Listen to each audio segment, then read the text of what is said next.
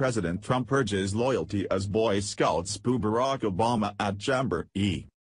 President Trump asked more than 35,000 scouts celebrating the organization's Jamboree to uphold just a single scout law value, loyalty. Specifically, to him. For more than a century, members of the Boy Scouts of America have sworn to uphold the values of Scout law, the code of scouting chivalry that requires its adherents to be trustworthy, loyal, helpful, friendly, courteous, kind, obedient, cheerful, thrifty, brave, clean, and reverent to all they encounter. On Monday evening, however, President Donald Trump used the backdrop of more than 35,000 scouts celebrating the organization's quadrennial jamboree to fixate on just one value, loyalty. Specifically, how little he feels it in the nation's capital. As the Scout law says, a scout is trustworthy, loyal, Trump said, pausing dramatically. We could use some more loyalty, I will tell you that. Over the course of a freewheeling 40-minute speech, the president complained numerous times about fake news, bragged about his electoral college victory nine months ago, threatened to fire Health and Human Services Secretary Tom Price, and encouraged the assembled teens and preteens to boo President Barack Obama and Hillary Clinton. Tonight we put aside all of the policy fights in Washington, D.C., you've been hearing about with the fake news, Trump said at the beginning of his speech at the Summit Bechtel Reserve in Mount Hope, West Virginia. We're gonna put that aside and instead we're going to talk about success. But despite earlier promises to avoid the subject of politics, after all, the president said, who the hell wants to speak about politics when I'm in front of the Boy Scouts? The president quickly wandered from the stated theme of the speech toward a more familiar form of public address. Trump's keynote address at the Jamboree, a week-and-a-half-long celebration of scouting held every four years, became a celebration of Trump himself. Do you remember that famous night on television, November 8? Trump asked the crowd at one point, referring to election night, as chants of USA. USA. Echoed around him. Do you remember that incredible night, with the maps?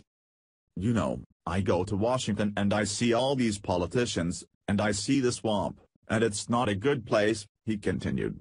In fact, today I said, we ought to change it from the word swamp to the word cesspool or perhaps to the word sewer, but it's not good. Not good. And I see what's going on. And believe me, I'd much rather be with you.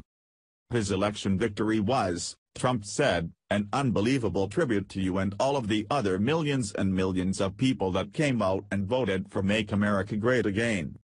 Trump, who, unlike Presidents Obama, George W. Bush, Bill Clinton, Gerald Ford, and John F. Kennedy, was never a member of the Boy Scouts, excoriated his predecessor for not making an in-person appearance at the Jamboree.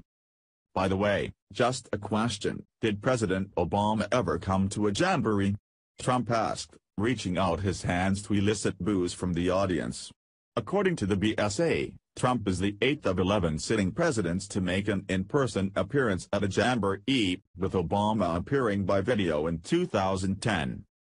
Trump, in addition to vowing to the assembled elementary, middle, and high school students that they would be saying Merry Christmas again, made another policy pledge and threatening to fire Price a former Boy Scout himself if Congress does not repeal the Affordable Care Act. Are you gonna get the votes? He better get them, Trump told the Scouts as Price joined him on stage.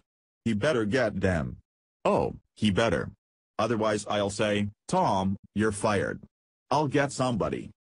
Even Trump's more traditional lines for addressing a group of adolescents focused on values more reflective of Trump law than Scout law as much as you can, do something that you love, work hard, and never, ever give up, Trump said, and you're going to be tremendously successful, tremendously successful. Apparently triggered by the word momentum, Trump meandered into a five-minute digression about seeing real estate developer William Levitt at a party once. Levitt died in 1994 at age 86. In the end, he failed and he failed badly, Trump said. Lost all of his money. He went personally bankrupt.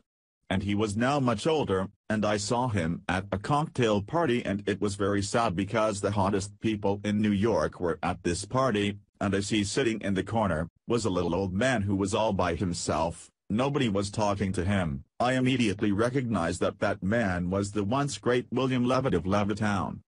He lost his momentum, meaning he took this period of time off long, years, and then when he got back, he didn't have the same momentum, Trump said. In life, I always tell this to people. You have to know whether or not you continue to have the momentum. And if you don't have it that's okay.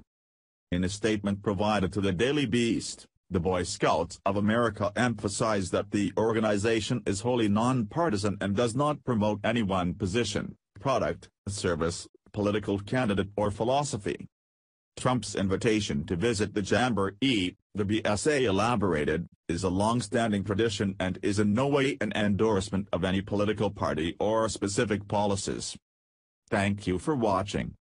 What do you think about this? Share this on Facebook and Twitter along with your comments.